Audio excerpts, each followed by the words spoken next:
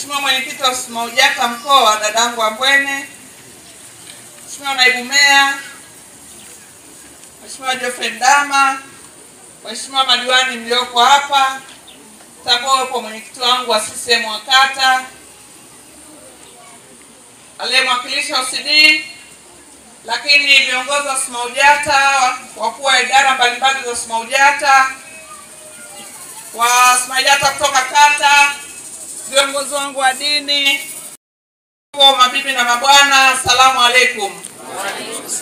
Jamani, sijamsahau mwenyekiti wetu wa, wa mtaa ambaye ni mwenyekiti wa kamati ya ulinzi na usalama ya kijiji, si ndio eh? Ndugu zangu, nianze kwa kumshukuru Mungu kwa kutupa neema mbalimbali, hasa neema ya uzima ambayo imetufanya tufike hapa. Lakini kabla sijasema lolote, niwaombe sana radhi. Nilipaswa kuwepo hapa muda mrefu, lakini nilikuwa na kikao Manyoni, nikawaomba viongozi wa SMAUJATA kwamba mwendelee, wakasema hapana, tunakusubiri na wananchi wa Mwamkoko wameridhia. Lakini nimewaudhi sana, najua. Nimewakasirisha sana, sina budi kuwaomba radhi, naombeni nisamehe sana. Lakini kwa namna hiyo hiyo na mimi nikasema ni lazima nije. Huwezi kuamini, hata nyumbani kwangu sijaingia, nimepitiliza Mwankoko moja kwa moja. Lakini kwa nini nimefanya hivyo? Ninatambua kazi kubwa inayofanywa na SMAUJATA wamekuwa wakifika ofisini kwangu, wananipa taarifa kazi zao, tunashirikiana wakati mwingine, lakini kazi kubwa ya kuwafikia wananchi wanaifanya wao. Niwapongeze sana SMAUJATA. Lakini ndugu zangu, lengo la serikali yeyote ni kutoa huduma kwa wananchi wake. Haitakuwa serikali kama wananchi wake wanalalamika na ndio maana mnamwona rais wetu Mama Samia Suluhu Hassan halali anatuwaza Watanzania.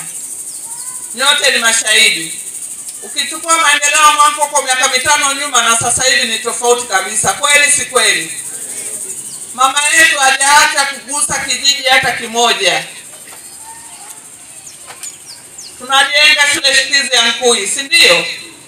Tumejenga madarasa Makungu tumejenga madarasa hapa Mwankoko, tumejenga madarasa Mwachichi, tumejenga John Isomia, lakini bado Isomia tumejenga zahanati, tumejenga jengo la mama na mtoto hapa zahanati ya Mwankoko, na tunawashawishi sasa mtafute eneo tujenge kituo cha afya Mwankoko.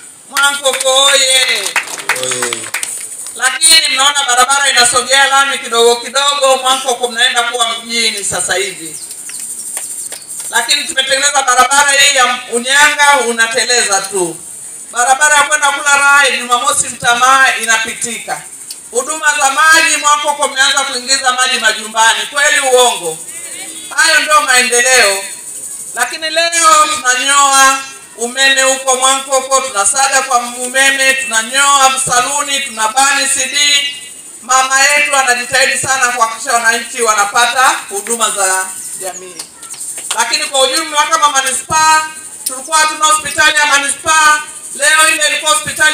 Ni hospitali yetu ya manispaa, lakini tuna hospitali ya rufaa ambayo leo mmeona matokeo ya hospitali ile ya rufaa, lakini na makata zingine kule tumejenga mashule, tumejenga mazahanati, vituo vya afya, mabarabara, maji yamefika, na bado kuna mradi mkubwa wa maji wa miji ishirini na nane unaanza sasa. Kila mahali tutapata maji. Umeme tumeshawasha Mwalimu Nyerere, sasa umeme baada ya kukatika katika inakwenda kuisha. Cha msingi tu wananchi mweke umeme kwenye majumba yenu, mfunge barafu akina mama, mnyoe vijana, akina baba wenye mashine msage kwa kutumia umeme ili kupunguza gharama za dizeli.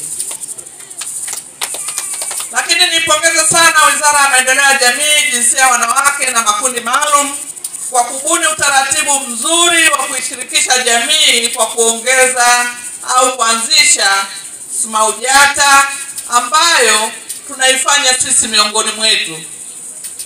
mnaisaidia serikali kugundua ukatili na matatizo ya jamii na kuyatafutia ufumbuzi, jambo ambalo lingekuwa mzigo kwa serikali. Mimi nikupongeze sana mwenyekiti wa mkoa na timu yako, hongereni sana.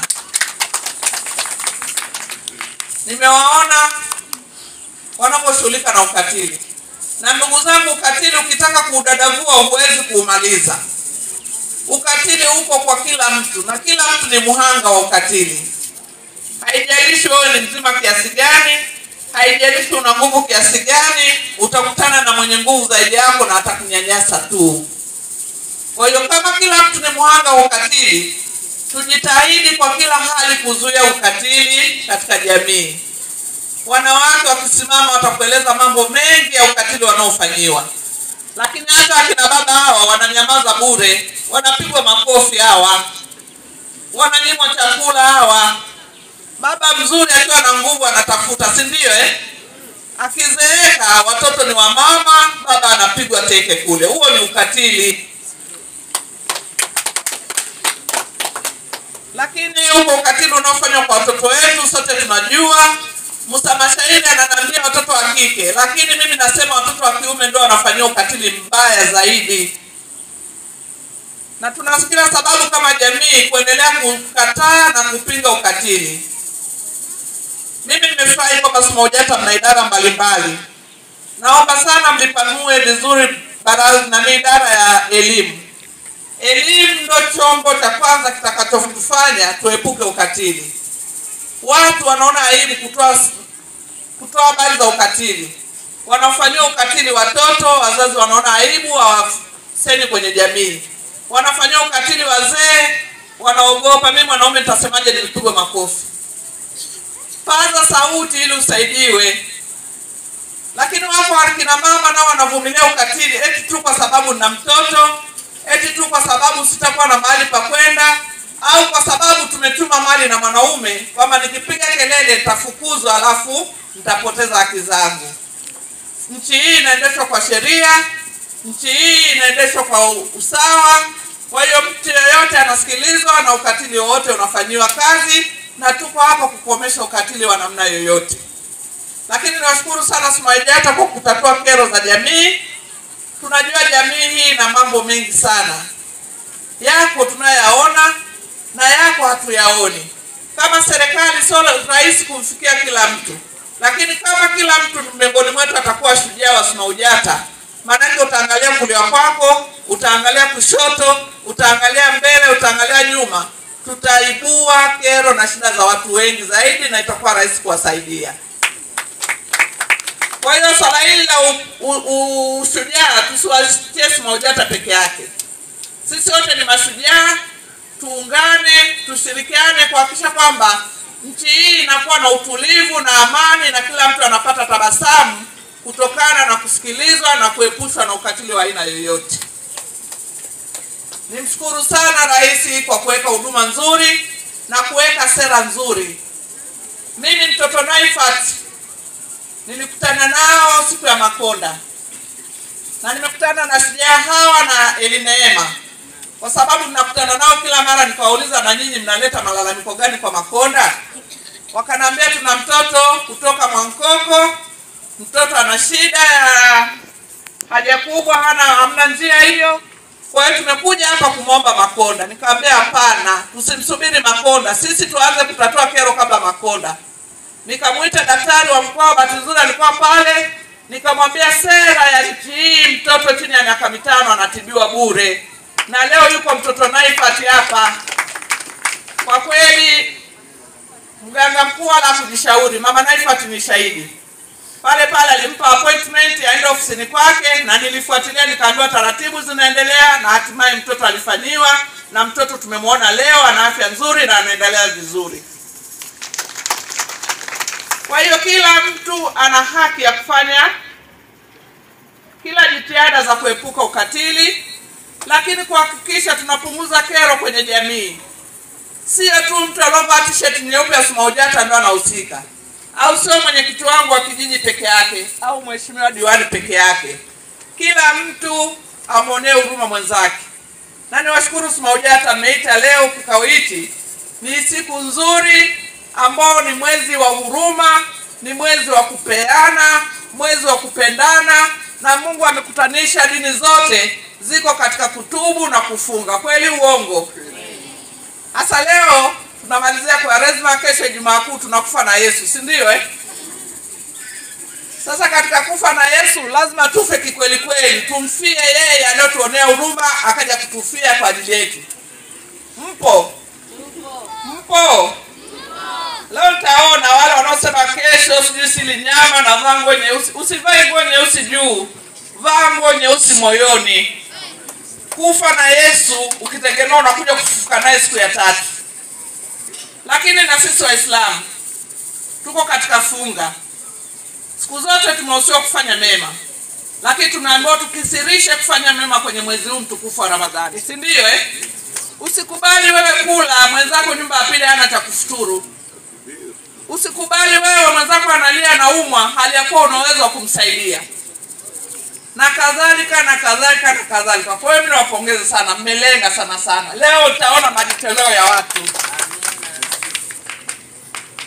Mwenyezi Mungu anasema ametuhusia tusaidiane, na kusaidiana huko sio lazima uwe na mamilioni ya pesa. Nilikuwa naangalia watu wanamtunza Musa mashairi, unajua jicho halina pazia eh? Yale alivyokuwa na gani lile shairi lake, maneno yanayoingia watu. Kuna watu niliona waliamka hata na mia mbili wakamtunza, kwani ilikuwa kubwa sana, lakini ni kubwa kwa yule aliotoa, ndio alichokuwa nacho na Mungu amekibariki kutokana na uwezo wake. Huenda mimi nilotoa elfu kumi ikawa haina thamani, kwa sababu Mungu anajua nina nini kule ndani, si ndio eh? Kwa hiyo mimi niwausie ndugu zangu wa Mwankoko, mmekuwa shuhuda wa matendo mazuri, matendo ya kimungu. Mmeona ndugu zenu walivyofanyiwa, lakini wametolewa watu kutoka mahali kwingine kuja kushuhudia matendo ya upendo. Niwaombe tuendelee kupendana, tuendelee kusaidiana. Usikubali jirani yako ubavu wako kulia anateseka, hali ya kuwa unaweza kumsaidia, hata kumshauri ni msaada, si ndio eh? Lakini hata kumfikisha kwa wenzetu hawa dawati la sheria, lakini wapo wenzetu hapa dawati la jinsia. Dawati hili linafanya kazi nzuri na pengine wanapokea taarifa za siri juu ya ukatili unaofanyika na wanachukua hatua na watu wanaadhibiwa na ukatili unapungua. Ninajua nimechelewa sana, wako hapa ambao wamefunga, wanawake wanatakiwa kwenda kupika futari, lakini najua muda wa ibada hautakuwa mbali sana. Niwaombe sana wana Mwankoko, kwanza nimefurahi sana, mmekuwa wavumilivu mlikuwa na hamu kubwa ya kusikia hili jambo ambalo linaendelea, na mimi niseme naungana na nyinyi na Wanasingida kwa ujumla, tushirikiane, tuungane, tushikane kuhakikisha kwamba ukatili unakwisha, ili pawe na amani na utulivu, tuweze kufanya shughuli zetu kwa usalama. Hivi kama unauza chakula alafu uchochoroni kuna mtu anakungoja akukabe, kuna usalama kweli hapo? Kwa hiyo sisi ndio tutakayeweka hali ya usalama katika maeneo yetu. Sisi ndio tutakayofichua ukatili unaofanyika ili serikali iweze kuyafanyia kazi yale ambayo yamekuwa kero katika maeneo yetu. Tumewaona watoto wanne hapa. Yule mama alikuwa analia, mnasema asilie. Mimi naijua ile hali, nimeuguza pale Benjamin miezi miwili, ninawaona watu wanaoingia kufanyiwa dialysis ilivyo ngumu yaani damu yote inatoka na inaingia ingine kwa wakati huo huo. Yaani ile damu inatoka inasafishwa, inarudi, inatoka inasafishwa, inarudi. Hamoni kama ni ngumu sana? Huyo mtoto hanywi maji sasa hivi, sidhani kama anakunywa maji kama sisi tunavyokunywa. Ana hali ngumu mno, na anatakiwa damu ikasafishwa kwa wiki, kila wiki mara moja. Mama yule anapata wapi fedha ya kwenda kila wiki? Tunaishukuru serikali, angalau mtoto anatibiwa, lakini kuna gharama za kwenda. Akifika pale lazima ale, lazima amlishe mtoto wake, na wakati mwingine wanalala kwa ajili labda wamechelewa kwenye zamu, maanake kuna zamu, wanaingia wa asubuhi, wanaingia wa mchana. Nimeyaona kwa macho yangu na nimeingia mpaka kwenye chumba cha dialysis, ninaijua ilivyo ngumu. Kwa hata kama alipokuwa analia, mimi nilikuwa nayahisi yale maumivu aliyokuwa nayo. Tumpe faraja, mwenye kuweza kumsaidia amsaidie. Lengo ni kuona kwamba mtoto anapata nafuu, anapona na anarudi kuwa kama watoto wengine. Lakini kikubwa tuendelee kuwaombea wote wenye shida, wagonjwa na wenye matatizo mengine. Huenda wewe ukimwomba Mungu akakusikia ukawa na